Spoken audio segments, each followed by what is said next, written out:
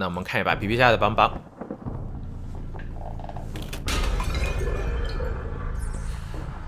打的是月亮和带传送，那应该是淬火，然后可能会点满拘禁狂。打的是小蝶狐狸的这个车队。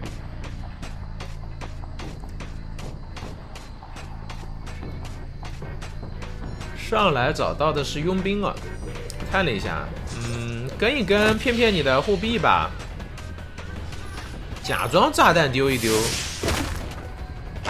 对吧？实质反正肯定是等淬火，佣兵估计也心知肚明，你追我那不是在开玩笑吗？对吧？就反正形式性的交个一个护臂、两个护臂，等你淬火开了，你肯定是找下一个人的。那这边淬火开了，应该会更多的找先知十秒钟。好，这边是前锋的一个点，下一个点过来，我们看先知这边有没有拉开啊？先知拉开了，拉开了，这先知很聪明，就是不是不在电机附近，那你淬火开了，你看这就高端局求生者的一个。意识啊！你淬火开了没关系，我这边不在电机旁边，你也不能传，那只能是被迫来抓下一个这个比较难抓的前锋了，也没什么办法。这这先知对吧？不给机会呀！哎呀，这颗炸弹往下一补，好，你下去，炸弹传送还是要传这先知。躲得了初一，躲不了十五。先知说我已经是对吧，尽力拉开了。哎，一轮炸弹一刀，好开了技能，遥控炸弹一波可以带走。看先知这个鸟能不能顶。这里先丢炸弹封你走位，遥控炸弹补上，直接一轮带走，非常非常的流畅的一波追击。先知这只鸟留着给自己就比较的弱了。他如果说能留着给救人位，就是当时比如说前锋倒了，对吧？这里挂上前锋，其实都要比这个先知倒好一点，因为他可以把这个鸟给到佣兵。通缉到了祭司，那先把这个洞打掉，啊，先把这个洞打掉，然后做一波防守啊。皮皮虾这边还是很很果断的，这个传送就知道当时淬火开了以后，他就大概知道一个先知的位置了。然后虽然说先知离电机比较远，传不了，但是你待会儿总得修机，你修机电机一动，我哪知道在电机动就是你。那么看这波防守了，这里第一轮补杀，直接秒救，可以啊，直接上手掏。直接上手套，这波上手套还是非常非常果断的，一个无伤救人。再丢颗炸弹，没炸到，半血佣兵，下一波前锋还能再来救一波，因为这先知有鸟，就是求生者会不会救呢？我觉得大概率会救，因为这先知有鸟啊，没鸟估计这先知就不要了，有鸟你现在就很难说，对吧？这手上我有只鸟，你们要不救我一波，我说不定还能溜。每个人都会有这样的想法，但是我觉得更好的呢就是卡着别救。看前锋，前锋这边还被通缉到了，那算了吧。祭司卡一卡，好吧，祭司卡一卡，别救了。前锋来了，前锋来了，还是要救。有鸟，对不对？先一颗遥控炸弹封你走位，这里两连补，继续封，因为被通缉到的。前锋这边想拉球。这你拉球有点，哎，躲炸弹，nice！这波这波救人还是比较关键的，鸟套上给自己，这波能救下来，这个走位还是够细腻啊！皮皮虾一颗炸弹没炸中，一颗炸弹炸中的话，这把求生者就崩了。嗯，不过现在这个先知上挂飞，传送也有挂飞先知以后，前锋是要倒地的，前锋能不能把自己的遗产机应该是拉开了，没有去补自己的遗产机，这边补好，还差一颗。砸了一个头，两连已经好了，板子踹掉。嗯，看一下电机的一个分配，佣兵在摸自己，然后要准备打一个尽量保证满血的一个挂飞第一人的残局。哎，这里有一说一，杨 sir 这边牵制的时间也挺久了，在面对一个二阶邦邦，能够有这种牵制的时间已经非常不错了。那这里一刀震慑，前锋被摸满，好像还想来。算了吧，算了吧，算了吧，还没必要了，这个有点远，来不及，来不及，来不及。还行，这一波呢，怎么说呢？富贵险中求吧，但是也只是让求生者有保平的机会了。我觉得刚才不救也有保平的机会，不过不救的保平机会远远没有这一把救下来这个效果的保平机会大啊。所以说这个就是还是富贵险中求求到了。但这个东西真的很惊险啊！刚才那个真的太险太险了，我们可以看到就很有可能就人没了。这一旦前锋没了，就真的没了，啥都没了。一刀倒地，哇，这抓人速度倒在遗产机。这把皮皮虾这个邦邦在这种点位的一个追击能力有点恐怖了。祭司想要秒救，不给你机会。这边祭司秀想要等那个，因为佣兵这边倒在一台遗产机嘛，所以说想要等的就是佣兵挂上的那一刻直接掏。前锋这边撞救也可以，反正就是拉开遗产机。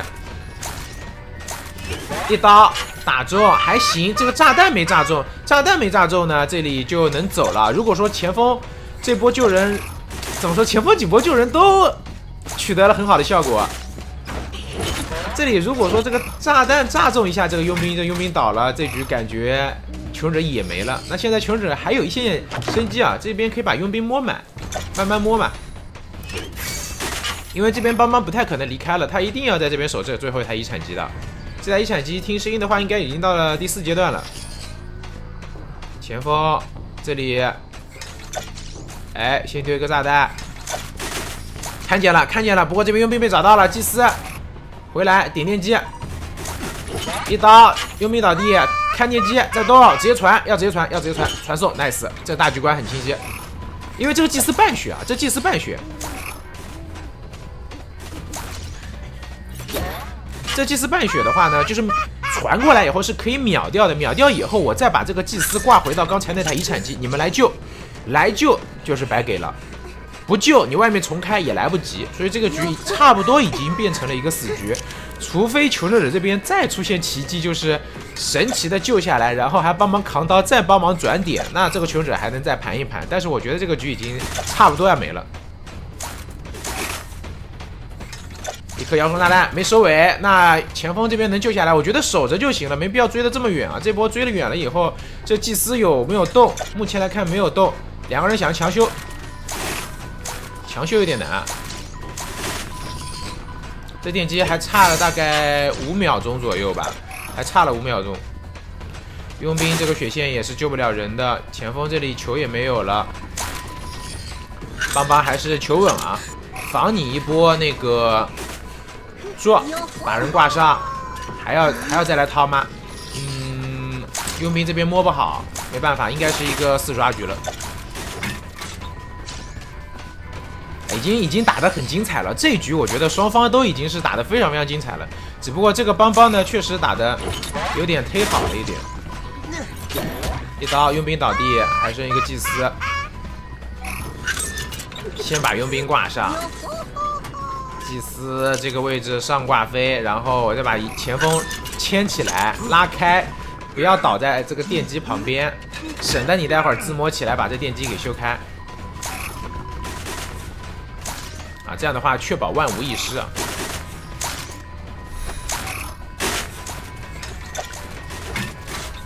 还救！我去，这还救下来了！牵起来打气球的祭司被炸的，哎，这还能点击电机还能点开的？这里要把祭司摸好，还要来救，还要来救，但摸不起来吧？我去，啊这这个局真的我惊了，这能打成这个样子啊！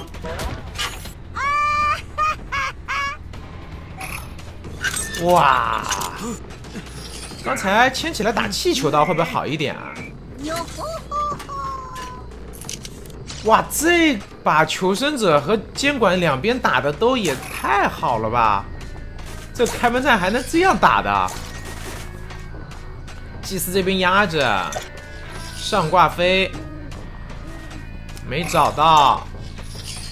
这里祭司压着呢，就是想要那个待会儿佣兵开完门以后打个大洞走，打个大洞走。这里可能还救波人。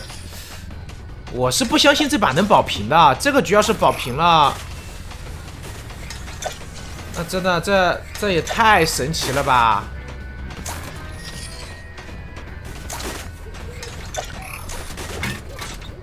好，这边挂飞，那本来是一个四抓局啊，这样的话跑了一个，但也是真的求生者这把其实从头到尾求生者打的都很好，从那边杨 Sir 的这个先知，对吧？拉开破你的这个淬火，到那个呃杨 Sir 被神奇的救下来以后的一波二六，都已经是打的很好很好了，很好很好了。这局确实很精彩，很精彩，值得收藏的一局。